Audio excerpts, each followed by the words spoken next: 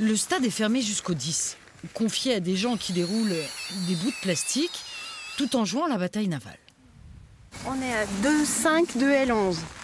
C'est de l'art monumental, une œuvre de 7000 mètres carrés.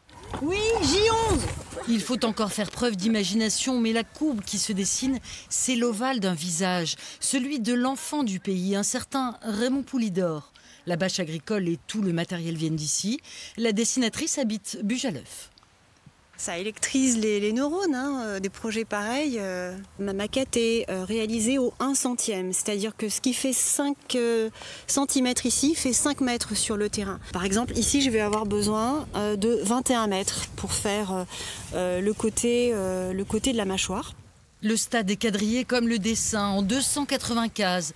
Et le vent n'impressionne pas Caroline, ni son ami Pierre, ni sa fille Marie, qui en a vu d'autres? Marie, elle vous fait pas faire des choses un peu bizarres, votre maman?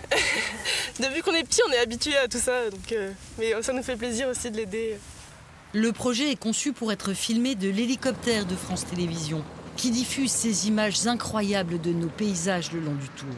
Impossible de traverser Saint-Léonard sans retenir la date. Ce sera le jour où la caravane rendra hommage à l'éternel second pour la douzième étape entre Chauvigny dans la Vienne et Saran.